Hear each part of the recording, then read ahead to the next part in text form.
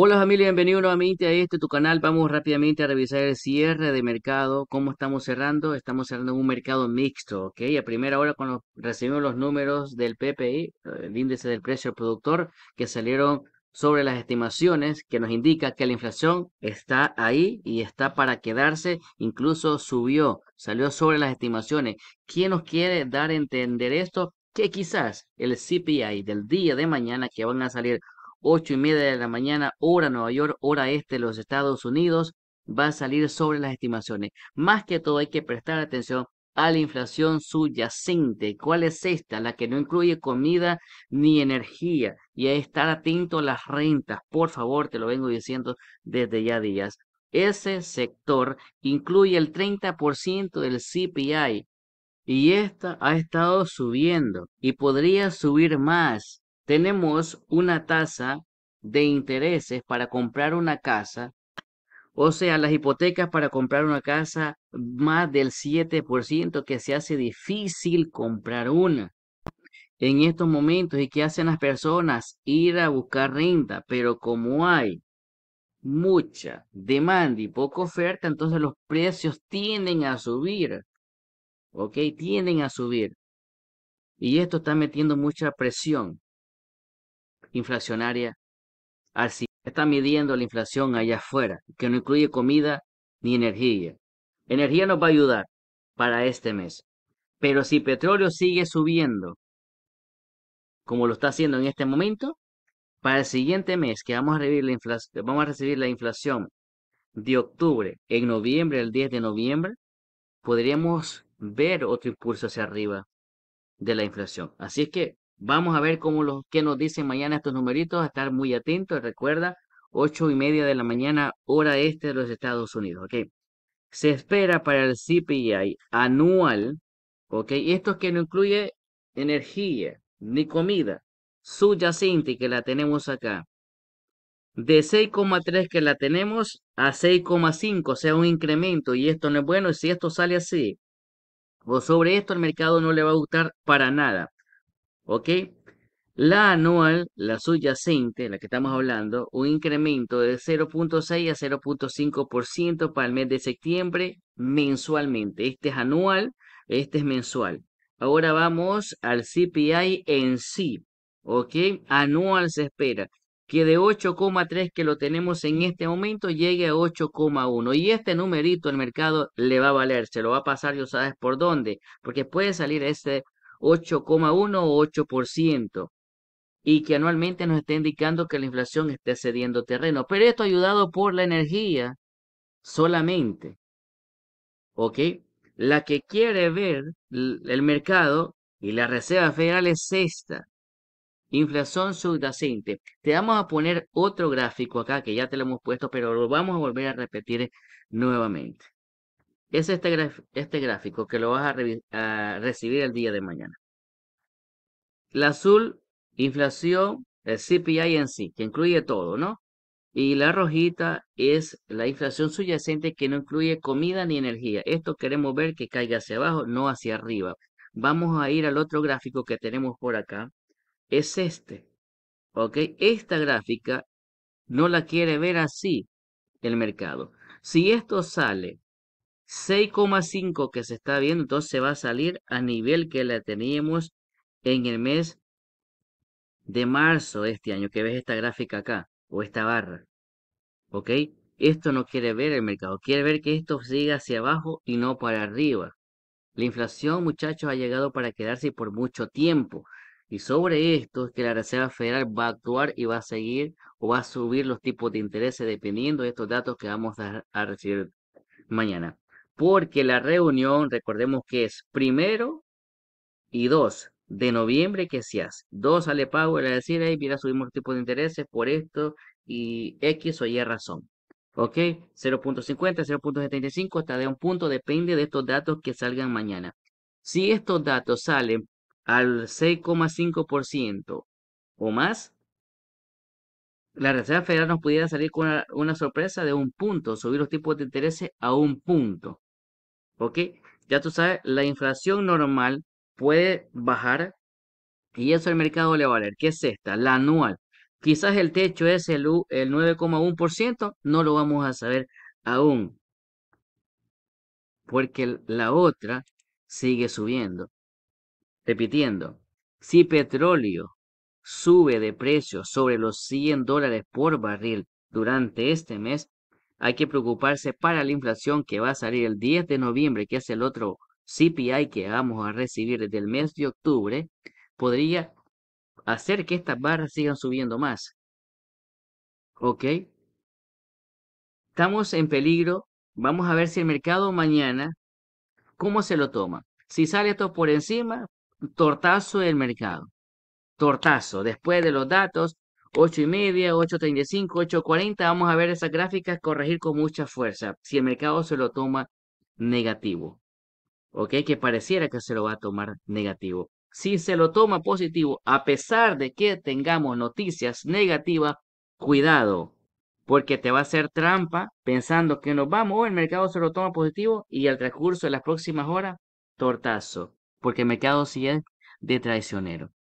Si estos datos salen sobre las estimaciones, estamos hablando no el CPI en sí, estamos hablando de esta gráfica que estás viendo acá. Esa gráfica, ¿ok? En el mes de agosto se elevó demasiado y hoy para el mes de septiembre podría elevarse más, 6,5 y esto es lo que no quiere ver el mercado ni la Reserva Federal. ¿Ok? Porque esa inflación significa que no está cediendo terreno y que la subida de los tipos de intereses no están funcionando para nada. ¿Ok? Recesión se viene pronto, a las puertas de las esquinas, ya estamos en una, no lo vamos a saber hasta cuando se haga oficial. Y no es la Reserva Federal que va a ser oficial la inflación, es otra oficina que se encarga de esto. ¿Ok? Cuando esa oficina lo haga oficial, quizás el mercado también se lo tome positivo, dependiendo de dónde estemos. Mañana se podría meter miedo, pánico en los mercados. Podríamos tener capitulación ya o estar cerca de ella. Vamos a ver mañana cómo se da, con más con subir los tipos de intereses. A estar atentos, posiblemente tengamos mejores oportunidades de las que ya hemos tenido. Por eso hemos estado operando con gestión de riesgo en todo momento. Gestión de riesgo. Otra cosa, vamos a volver al gráfico anterior. Ya te expliqué esto en el video anterior, a cuáles ítems o a cuáles numeritos vamos a prestar atención en esta gráfica. Comida, por favor, comida, que esto está subiendo. ¿Ok? Vámonos a ir a energía que la tenemos acá, energía, gasolina, que todo esto meses retrocediendo y quizás van a seguir retrocediendo y que nos van a seguir ayudando para este CPI. Vamos a prestar atención también a la, a la electricidad en sí, la que utilizamos en la casa, a esto sigue subiendo o disminuyendo. También los carros usados, muchachos, que incrementaron, los carros nuevos incrementaron, la ropa también subió, ok, la ropa, eh, gastos médicos también subieron. Vamos a ver cómo vienen esta vez. Renta que subió, transporte subió, a pesar de que la gasolina estaba cayendo. En el último mes de agosto, transporte subió. ¿Ok? La teníamos menos 0,5 y lo volvió a recuperar 0,5 positivo nuevamente. ¿Ok? Servicio médico, como lo podemos ver acá, subió 0.4 a 0,8%. Renta, hay que fijarse, muchachos. Renta, que lo tenemos acá como shelter, ¿ok? 0.5 a 0.7. Vamos a ver mañana, quizás salga 0.7, 0.8, 0.9 o hasta de un punto. ¿Ok? Que esto va a subir más eh, inflación subyacente que no incluye comida ni energía. Así que estar atento a estos numeritos mañana. Esta fila acá ya no va a ser agosto, sino que va a ser septiembre. Hay que prestarle mucha atención. ¿Ok? Esta línea roja, que es la que va a mover el mercado. ¿Ok, muchachos? Y me estoy enfocando mucho tiempo en esto y estamos hablando mucho tiempo de esto, muchachos, es porque estamos manitos abajo el día de hoy a esperar el día de mañana, porque mañana es el gran día y cómo se va a ver o cómo se va a mover el mercado. Vamos a ver cómo se mueve ese mercado, cómo toma estos datos el mercado y qué presión le mete a la Reserva Federal si estos datos salen sobre las estimaciones. De por sí ya tenemos la expectativa de la subida de los tipos de intereses que va a ser 0.75, pero esto puede cambiar y te también te lo mencioné en el video anterior. se puede eliminar 0.50 si los números de CPI salen sobre las estimaciones. Y vas a ver 0.75 y de un punto. ¿Ok? Vamos a ver. Otra cosa que recibimos el día de hoy fueron unas minutas de la Reserva Federal que nos están indicando que van a mantener la tasa de intereses allá arriba, se puede quedar por mucho tiempo allá arriba y que van a ser agresivos en subir estas hasta que la inflación sea terreno y que ellos están pensando que el crecimiento del Producto Interno Bruto para el tercer trimestre, esto ayude a reducir la inflación y que esa fuerza laboral tiene que caer y que el desempleo tiene que crecer. ¿Ok? Objetivo que tiene Reserva Federal llevar el desempleo es al 4,4%. Y esto salió todo lo contrario cuando lo recibimos. 3,7, 3,5 negativo para la Reserva Federal. Más presión. La Reserva Federal tiene un trabajo grande, tremendo, y todo lo que está haciendo pareciera que no está sirviendo para nada. Quizás entremos en una recesión y la inflación siga subiendo y tampoco sirva para nada. Vamos a ver. ¿Ok? El desempleo quiere que incrementes para quitarte poder adquisitivo allá afuera para que no sigas gastando plata aunque tengamos una inflación muy alta. Y siempre lo he mencionado. Al público le vale si tenemos una inflación al 20, al 30, lo que sea, siempre va a seguir gastando. Ok, allá afuera, comprando casa, pidiendo préstamos, tú sabes que la deuda la tenemos como en el 2008 en este momento. Ok, algunos sectores no están como en el 2008, por ejemplo, bienes raíces, los bancos ya están más preparados, hicieron nuevas reglas, nuevas leyes, después de 2008, desde el colapso que en el 2008, muchas cosas han cambiado. Que se va a repetir la historia no lo sabemos, pero el miedo y el pánico o el recuerdo, cuando hablamos de recesión, se viene y es donde se mete en pánico las personas cuando se habla de recesión. Cuando la recesión se haga oficial, mucha gente va a estar en pánico, muchos van a perder su, su trabajo, compañías ya no van a contratar, ya muchas están dejando de contratar, van a despedir. Dice, no, pero es que en, mi, el lugar donde yo vivo, hey, aquí están contratando. Sí, recordemos que la compañía viene a la época de Navidad donde contrata gente temporal, pero pasando estas fiestas, todo ese, este montón de gente que va a contratar va para afuera. O recortar a las otras gente que ya estaba también eh, teniendo un horario completo, un full time. Porque las compañías se van a preparar. Dicen, viene una recesión en camino, yo voy a recortar gastos.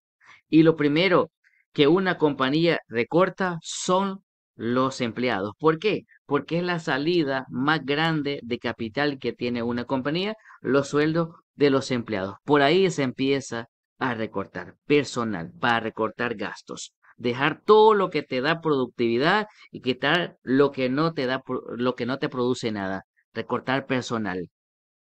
¿ok? Se están preparando y muchas grandes compañías como las que tenemos nosotros en nuestra cartera están lo haciendo. Un Google, un Amazon, un Tesla, por dar, por mencionarte algunas, todas estas, Microsoft, Meta recortando personal, Snapchat recortando personal, ¿ok? Entre otras, muchísimas que te lo hemos mencionado muchísimas veces aquí, también valga la redundancia. Todas se están preparando porque la recesión la vamos a comer tarde o temprano, queramos o no queramos. Y debemos estar preparados tanto psicológicamente para ver retroceder nuestras acciones más, quizás de donde están. Quizás tengamos un impulso nuevamente, y vengamos a buscar el piso que ya tenemos o caer ese 35% en averaje completo en los mercados en la historia que hemos caído cuando estamos en una recesión. En este momento estamos casi un 26% bajo en el SP500. Si le incluimos una recesión, vamos a caer un 10%, quizás un 15% más. ¿Ok? Quizás vamos a ir un poco más del averaje, porque no sabemos cuánto tiempo pudiera durar una recesión en este momento. Ya tú sabes que el averaje va entre 6, 12, 18 meses, hasta 2 años o más se puede alargar. Y por eso cuando entramos al mercado, siempre entras con cuidado, con cautela, con respeto. No es que yo sé todo acá y voy a meterme, voy a meterme con todo mi dinero que tenga. Y no, gestionar muy bien tus entradas. Nosotros hemos tomado como referencia precio 2019-2020 para hacer nuestros movimientos y desde ahí vamos. ¿Ok? Y no es que lo vamos a volver loco, siempre te he dicho, mira, a mí me gusta Tesla, a mí me gusta Google, y no solo porque están Google a los 96, los 98 dólares que está, voy a meter, voy a meter todo, que me voy a volver loco, meter todo, no. ¿Qué pasa si Google viene a caer a los 50 dólares? Me voy a quedar con los brazos cruzados y me voy a perder esa oportunidad de hacer cosable y de agarrarla a un precio mejor, porque me acabé todo el dinero ahí arriba. Ya se cometió ese error en el pasado, allá cuando tuvimos el retroceso en junio, julio, no volvamos a repetir la misma cosa nuevamente. Ok, recordando, yo no soy tu asesor financiero ni pretendo ser lo que doy aquí es una simple información, una opinión, nunca lo voy a tratar como unidad para invertir ni para comprar cualquier activo financiero, ok, ni vender. Siempre hace tu propio trabajito y nunca inviertas con opiniones de otros. Pero no subestimemos al mercado, porque este no se equivocan, los que se equivocan somos nosotros. Y ya tú sabes que cualquier error acá se paga con plata. ¿Ok, muchachos? Seguimos. Eh, el efectivo vuelve a ser el rey, ya que los administradores de dinero no tienen prisa por asumir el riesgo con el aumento de las tasas de intereses. ¿Ok? Gradualmente. Muchos están en cash. Cash es poder en este momento. Cash es el rey porque el mercado puede seguir retrocediendo. Y se van a aprovechar mejores oportunidades. ¿Puede venir una venta masiva? Podría venir. Capitulación.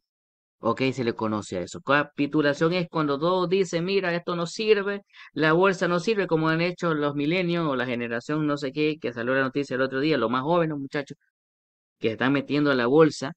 Dice, mira, esto no sirve, solo caer y caer todos los días. Eso es capitulación. Ventas masivas que ves, porque todos dicen que se va a ir o se va a acabar el mundo.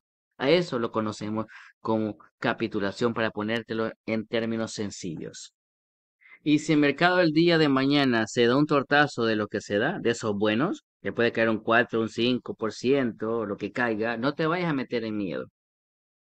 Veámoslo como oportunidades no como miedo, no te llenes de pánico, estamos invirtiendo para largo plazo, tú sabes que para largo plazo esto se va a recuperar y estamos agarrando compañías de calidad a muy buenos precios que cuando esto diga rebotar nuevamente o ya salgamos de este hoyo donde estamos metidos, nos vamos a recuperar. Yo sé, no estás solo, todos estamos perdiendo acá muchísima plata, algunos más que otros, pero no eres el único, todos estamos perdiendo acá, muchísimos, ¿ok? El que te diga que no está perdiendo, te está mintiendo. Todos estamos perdiendo. ¿Ok? Todas esas ganancias que se obtuvieron y si no sacaste ganancias 2020, 2021 y no aprovechaste, ya se te fue, se te fumó. Así como te lo da el mercado, también te lo quita si no sabemos aprovechar los movimientos o agarrar el timing de esto. ¿Ok? Siempre es importante, aunque vayamos para largo plazo, porque cualquier cosa puede suceder, muchachos. No tenemos el mundo en nuestras manos. Ok, cualquier cosa puede suceder y lo tumba esto, ya tú sabes hacia dónde. Y cuando nos da la oportunidad el mercado es de aprovechar a sacar ganancias, sacar profit por lo menos. Muchos se enojan cuando nosotros decimos sacar ganancias, sacar profit. Dice, mira esto porque está sacando ganancias. Sacamos ganancias porque le sabemos pegar al mercado y cuando tiene esos impulsos sacamos algo. No es que sacamos completamente la posición, pero por lo menos sacamos algo.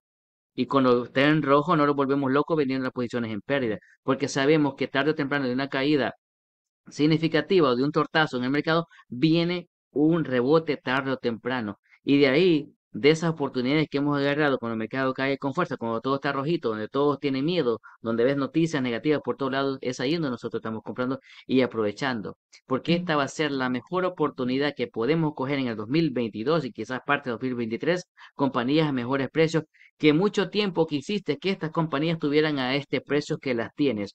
Hoy las tenemos, las despreciamos porque pensamos que el mundo se va a acabar o que esto no sirve, te estás saliendo, estás regalando tu dinero, cosa que no podemos hacer en este momento. Al menos yo no lo estoy haciendo. Yo sé cómo se comporta el mercado, eh, problemas siempre van a haber, geopolíticos, sociopolíticos, recesiones, cualquier tipo de problema en economía puede venir y siempre el mercado se ha recuperado. Cuidadito que nos hayamos metido ahí arriba en, las montañitas, ¿ok? Sino que abajo, porque vamos a ser de los primeros que van a empezar a sacar ganancias, a sacar algo de profit, lo que lo vamos a recuperar y no vamos a tener que estar esperando entre 6, 5 años para ver nuestro dinero recuperarse nuevamente. No, por eso hemos estado comprando. ¿Ok? Seguimos muchachos. Yo quiero enfocarme en esto. Es que porque mañana si vemos un retraso, yo sé que muchos se van a meter en pánico, en miedo. Ay, que se va a acabar todo. No, no, no. Oportunidades. Oportunidades. Si no vas a hacer nada, siempre he dicho, cierra tu computadora, vete a hacer otra cosa y déjala correr porque tú estás invirtiendo para largo plazo. ¿Ok? Largo plazo. Otra cosa que va a afectar a la parte del CPI que recibimos mañana es el viernes que vienen los principales bancos, uno de los principales bancos presentando sus earnings, ¿ok? Y luego vienen las grandes tecnológicas que también se va a dictar cómo se mueve el mercado, que nos den un empujón para seguir cayendo o nos recuperamos con las proyecciones que nos den para 2023. ¿Que van a utilizar todos la excusa de que el dólar está fuerte? Sí, pero no siempre todos los seres que vayan de aquí hacia adelante queremos escuchar el mismo cuento, que el dólar está fuerte, que el cambio de moneda ya se sabe. ¿Ok? No queremos que lo estén repitiendo, queremos ver si la compañía está creciendo y va a entregar muy buenos números. Necesitamos ver eso como inversores. ¿Ok? Y vas para largo plazo. ¿Ok? El que está invirtiendo, si mete dinero ahora para recuperarlo mañana, nos estamos equivocando más en un mercado volátil e impredecible que tenemos en este momento. Irracional también al mismo tiempo y a veces manipulado allá afuera. ¿Ok? Pilas. Si mañana el mercado se da o cae, son oportunidades. Si viene a ser un bajo más bajo, sea el SP500, el Dow Jones, el Nasdaq, oportunidades para nosotros. Es lo que estábamos esperando. Aprovechemos. ¿Ok? Se prevé que la inflación al consumidor se dispara en el mes de septiembre impulsados por qué? Mira acá, por el alquiler, por la renta, que lo te, lo venimos mencionando uf, por mucho tiempo. Esto de la renta no es nuevo. Ya lo sabes por mucho tiempo, que ocupa el 30% del CPI, ¿ok? Se espera que el aumento del alquiler y el costo de la vivienda haya sido un factor importante detrás del salto de los precios al consumidor en septiembre. Ya tú sabes que esto va a salir a las ocho y media de la mañana, hora Nueva York, hora este. ¿Ok? Estos numeritos. Vamos a ver, hay que estarnos fijando en la renta. ¿Ok, muchachos? Esto es lo que te estaba mencionando de la eh, Fed de Atlanta que dice que ve un crecimiento en economía para el tercer trimestre sobre el 2%. Y esto es lo que está pensando la Reserva Federal que va a ayudar también a reducir la inflación. Tenemos otro dato acá para que veas el SP500 en la historia. Esto lo pusimos en nuestro Twitter eh, ya varios días. Para que veas después de una gran caída que ha tenido el SP500 o después de caer más de un 25%, cuánto se ha recuperado. Vámonos a los años más recientes, que son los 2000 y 2008 y 2020. ¿Ok? En el 2000 caímos un 49,1%. Eh, para salir de ahí, casi tardó un año apenas 0,2%. Tres años, 1,9%. Cinco años ya empezamos a ver la luz y diez años que nos recuperamos. ¿Ok? Esta fue la explosión de las .com.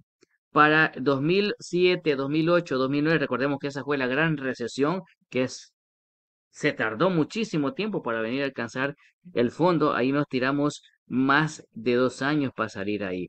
Ya cuando vimos tres años empezamos a ver la luz, cinco años y diez años, ¿ok? Y lo que va de 2020 y 2022 en este momento no lo sabemos porque apenas llegamos un año, 2020-2021, ¿ok? Por eso lo tenemos en signo, o se tiene esto en signo de interrogación y el averaje está en total que después de un año el SP500 sube un 21%, después de esa gran caída, un año, en tres años 36,9, en cinco años 83.83 y en 10 años 213,7%, pero todo eso va a depender dónde tú entraste. No el que entró en un all high, porque ese va a ver mucho tiempo, ese va a durar 5, 10 años para ver la luz no, con nosotros estamos pegando cerca de esos pisos. ¿Ok? Cerca de esos pisos vamos a salir un, poco más temprano de ahí si el mercado sigue retrocediendo. O sea, si vemos la gráfica, muchachos, el que se mete acá, el que se metió acá, ok, esta es la gráfica del SP500, el que se metió acá, a esos 4.809, casi 5.000, el que se metió allá, ok, por meterse en FOMO, está llorando ahora, viendo caer 25-26% del SP500 en este momento las compañías individuales que se metió. Nosotros como estamos comprando acá cerca del 26%, que esto puede caer un 10%, sí, pero como tenemos y vamos a seguirle pegando al mercado, o que te quedes ahí al 26%, cuando esto empiece a rebotar, tú vas a ser también de los primeros que vayan a salir. Podemos tirarlos un, ¿qué? ¿Cuatro o cinco meses, estar estancado un año o nueve meses ahí? A que vas a esperar cinco o seis años hacia arribita hasta que te venga a recuperar esto. Por eso no sirve meterse allá en los all de las compañías. Si nosotros no hacemos eso, sino que vamos entrando gradualmente al mercado. Otro puede decir, oh, eso no sirve. A nosotros lo funciona, pero gestionando muy bien los movimientos. Y cuando el mercado te da la oportunidad, porque le dio, y no me digas que no, la semana pasada, lunes o martes, ok, que tuvimos verdecito, para sacar ganancia que ha pegado a la, dos, a la 20 y se dijo, muchachos, esto está subiendo sin ninguna noticia positiva y no me gusta este rechazo de la 200 por tres días consecutivos. Hay que sacar profit, hay que sacar ganancias, porque ese dinero que lo vamos a sacar, vamos a necesitarnos si el mercado se da un tortazo y lo estás viendo. Y lo dije como broma. Alex, me dijo el mercado, saca ganancias porque me voy a pegar un tortazo. Por ahí debe estar ese video de la semana eh, pasada, el lunes o martes que lo dije. Lo dije como una forma de broma. Que el mercado nos estaba diciendo esto, que sacáramos ganancias, porque él sí iba a caer. Porque no pudo reventar la, la 20. Y la presión hacia abajo estaba fuerte y que aquí había mucha fuerza vendedora. Que nos estaba dando un respiro porque nos estábamos quedando sin cash para poder acumular más y poder seguir comprando. Y espero, yo sé que muchos lo hicieron de ustedes, para seguir comprando, para seguir operando, porque ya nos estamos quedando sin nada. No tenemos dinero limitado. Ok, cuando el mercado te da la oportunidad tanto en caída como en recuperación, hay que aprovechar. Al menos que tú vayas para largo plazo y tengas suficiente capital para seguirle pegando esto si cae un 10, un 15 o lo que sea que va a caer más. Pero lo que no tenemos, en un impulso sacamos algo, no sacamos completamente la posición porque estamos agarrando compañías muy buenas a muy buenos precios, que esto a largo plazo, unos 5, 10 años, te va a dar muy buen billete. Y dinero que también ponemos a invertir a la bolsa es dinero que tú no necesitas para hoy ni para mañana dinero que está atrapado en el banco que no lo tienes haciendo nada ahí. O tampoco te vayas a sacar todos tus ahorros y ponerlos a invertir. Tampoco podríamos hacer eso. Recuerda que tenemos que tener un fondo de emergencia, seis, yo diría seis a un año de emergencia por si perdemos el trabajo en una recesión. Te enfermas, no sabemos qué puede suceder. Siempre debemos de tener un fondo de emergencia. Siempre. Así como tenemos el botequín en la casa, debemos de tener un fondo de emergencia para nuestros gastos. Si estás pagando hipoteca, si estás pagando carro, si, no, si te quedas sin trabajo, pues el banco te lo va a quitar. Te vas a quedar sin tu hogar. ¿Ok? Porque esto se aprendió en el 2008. Muchos estaban de cheque en cheque viviendo y no tenían ahorros, no tenían fondos de emergencia. Vino la recesión, adiós casa, se las quitó el banco. Porque no se prepararon, porque la gente a veces cuando estamos bien dice o piensa que todo está original y que siempre va a estar todo bien todo el tiempo y todo el tiempo no va a estar bien. El mundo no es color de rosa, el mundo no es feliz como todos pensamos o como todos quisiéramos que sea. No, muchachos, hay problemas. Algunos tenemos problemas más fuertes que otros, pero cuando estamos o tenemos una responsabilidad y tenemos una hipoteca o cualquier préstamo que tú tengas, siempre debes estar preparado en todos esos momentos que estamos felices, que no, que no sucede nada, hey, toda la economía, todo feliz, todo, todo verdecito. No, prepárate, porque tarde o temprano puede suceder cualquier cosa. Mira la enfermedad que nos cayó. ¿Ah? Muchos no estaban preparados. Muchos han perdido su casa. Porque no se prepararon a tiempo. Y no busquemos a prepararnos ya cuando tengamos el problema encima. ¿Ok? Prepárate antes, no cuando ya tienes el problema encima. Las cosas se hacen desde antes. Como cuando viene un huracán y dicen, prepárate, alístate con comida, agua, etcétera, todo lo que necesitas, baterías, lámparas, generadores, etcétera, etcétera, porque te, te lo están avisando. Lo mismo tiene que hacer en economía. Prepararnos. Oh, no es que esto no sucede, tengo este fondo de emergencia desde antes. No, no, tenlo ahí, por ese fondo de emergencia y eso no se toca para nada. Para nada se toca. Por ese fondo de emergencia. Debe estar en una cuenta que ni la usas, ahí, aguardadito. No es porque te vas a dar el lujo comprando la televisión más nueva, el teléfono más nuevo que sale. No, no, no, no. Hace que eso no existe. Porque las cosas llegan más rápido de lo que pensamos. O sea, los problemas o las cosas negativas que a veces pensamos, oh, a mí no me va a tocar, más rápido le llegan a uno. ¿Ok? Preparados, muchachos, psicológicamente con suficiente plata porque vamos a tener quizás mejores oportunidades en el mercado. Quizás este sea el fondo, no lo sabemos. Vamos a ver mañana cómo se comporta el mercado. O si no es el fondo, estamos cerca de venirlo a conseguir. Un 10% más hacia abajo o un 15% estoy apostando que retrocedan los índices. El 20, 20 o unos han dicho 40%, vamos a ver. Vamos a ver. Pero esto no va a caer para siempre. Nos va a dar un impulso mínimo hasta la 20 o acercándose a la 20 y es ahí donde nosotros vamos a agarrar más cash para seguir operando. O sea, para seguir comprando, pues yo le llamo reciclar el dinero. Entramos, salimos, entramos, salimos constantemente. ¿Ok?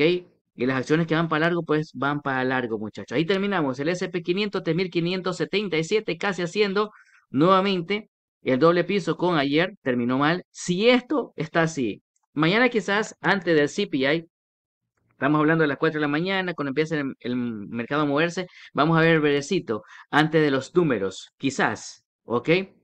Para después, cuando recibamos los números, el tortazo. Y quizás vengamos a acercarnos a esos 3.500, quizás. ¿Ok? 3.500, 3.400, sigamos cayendo gradualmente. No que mañana vamos a venir a buscar los 3.400, cualquier cosa puede suceder. Mira, si mañana el mercado cae un 5%, ¿hasta dónde vamos a sacar? Vamos que caemos un 5% mañana de donde estamos, ¿no? Ahí, vamos a ver hasta dónde vamos. 5%. Acá. Aquí lo vamos a poner. 5,6%. Nos va a mandar a los 3.405 para el SP500 si caemos un 5% mañana. Si caemos un 3%, ¿hasta dónde vamos a caer? Vamos a hacerlo, muchachos. Ahí. A dejar 326. Nos va a mandar hasta los 3461. Si mañana el SP500 se da un tortazo del 3%. ¿Ok? Vamos al 2%, vale. No creo que caiga mucho fuerte. Vámonos ahí a los que 214. Vamos a llegar hasta los 1494. Pero si el mercado se da un tortazo bueno, podemos caer hasta un 4% el día de mañana. Es especulando que estamos, no es que va a suceder, ni estoy diciendo que va a suceder. Estamos viendo hasta dónde podríamos caer el día de mañana en el SP500 si cae con fuerza. ¿Ok? Ahí está, muchachos. Está en una zona que dice, tócame y me voy para abajo. Dato negativo mal de inflación subyacente que te pusimos la gráfica, que supuestamente se esperan los analistas que esto suba y que no baje. Es muy probable que el mercado mañana esté rojo. Porque no podemos asegurar que va a estar rojo porque no tenemos la bolita de cristal para decir, hey, mira, esto va a estar en rojo porque no sabemos. El mercado es irracional e impredecible. Si no, fíjate, cuando recibimos la inflación a 9,1%, el mercado terminó en verde. ¿Ok? Así es el mercado y así se mueve. El Nasdaq 10.785, igual, casi tocando el doble piso que hizo el día de ayer o el bajo que hizo ayer. Ahí, muchachos todo está preparado para mañana, para pegarse una sacudión, pero de los que, de los que te ponen nervioso. ¿Ok? De los que a muchos, ya tú sabes, manda hacia el baño. Estas caídas, ¿ok? Pero como tú ya sabes cómo el mercado funciona, lo que vamos a ver mañana, si el mercado cae, son oportunidades. Un retroceso a la venta, sacamos algo de ganancia, algo de profit. Por eso estábamos manitos abajo todos, casi todos, todos estos días, ¿no? Manitos abajo, comprando de poquito porque ando de poquito, no quedando fuera el movimiento. Ahí lo tienes. Dólar fuerte. Ahí. 113. El bit cerrando a los 33. Mañana, si el mercado se da una sacudida buena, esto podría venir a tocar los 36. O acercarse a los 36. Los bonos rendimiento de, de, 10 años lo tenemos a los 3.90, retrocediendo un poco. El de 2 años lo tenemos a los 4.29, ¿ok?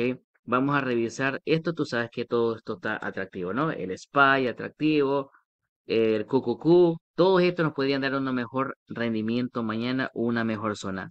Pero si te gusta esto, los primeros movimientos ya los hemos hecho o ya los tenemos. Y espero que no vayas con la pegarle esto cuando esté en. No que hoy que está rojo. Por ejemplo, el QQQ a los 2.62 que la tenemos es muy buena zona. El día 2.92, 2.90 se ve interesante.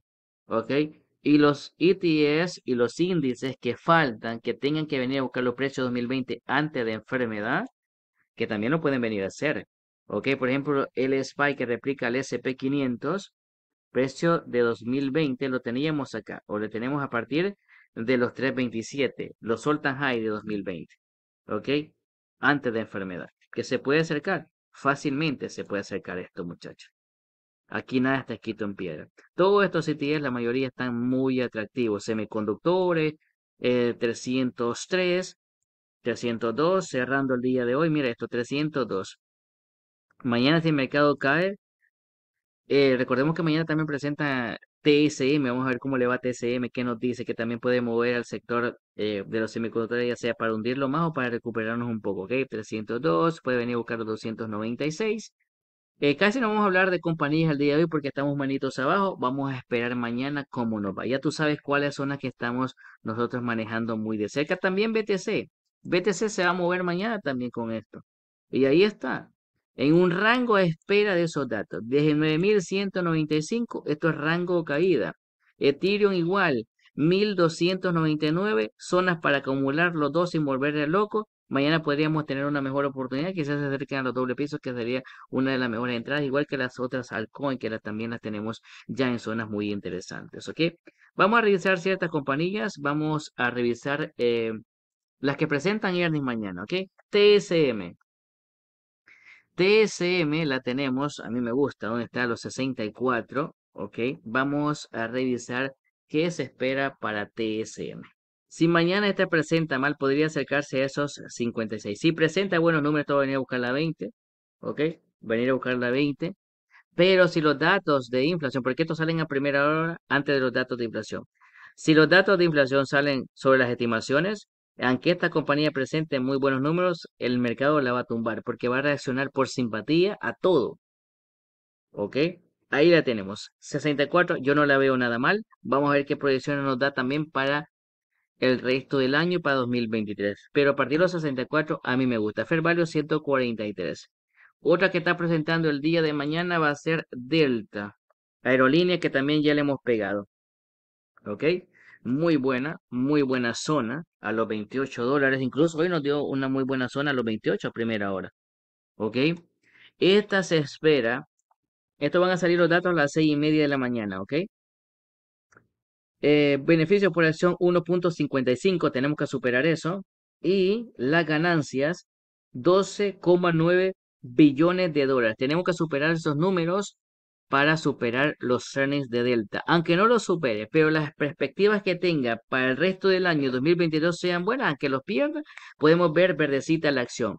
Si los falla, entonces la vamos a esperar a los 27, 26 o los 25 dólares que esto venga a caer o más abajo. Delta y va a mover a todo el sector de, aerolínea, Sideways, United Airlines, American Airlines, JetBlue, todas se van a mover igual.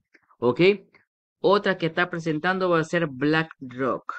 BlackRock, tremenda compañía, tú sabes que nosotros le hemos agregado al portafolio y la tenemos ahí en muy buena zona. Me gusta. 531, 527 en este momento que la tenemos en el aftermarket. Recordemos que el mercado cierra a las 8 de la noche. Interesante. Pero que apostar a los cenes es muy peligroso. ¿Ok?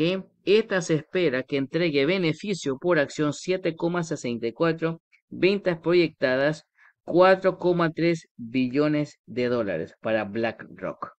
¿Ok? Tenemos que superar esto y las proyecciones que nos van a dar. El último trimestre que entregó lo perdió. Los últimos earnings los perdió. Pero la acción no se movió mucho. Vamos a ver esta vez cómo le da. Porque ha caído muchísimo. Necesitamos ver proyecciones positivas y grandes positivos, por lo menos que venga a buscar la 20, esos 577, o venga a buscar el cruce de líneas muere a partir de los 644. Muy por debajo de su fair value que la tenemos en este momento y a mí me gusta dónde está. ¿Ok? Otra que está presentando va a ser Domino's Pizza. Otra compañía que ha estado interesante, Domino's Pizza. Vamos a ver dónde, qué proyecciones tenemos para Domino's Pizza. Eh, donde cerramos, en la mañana estaba cayendo con mucha fuerza y terminó los 301. Se ve interesante los 301. Me encantan los 301 Domino's Pizza. Se puede hacer algo ahí. Pero apostar a los earnings teniendo en cuenta que esto vale 300 dólares.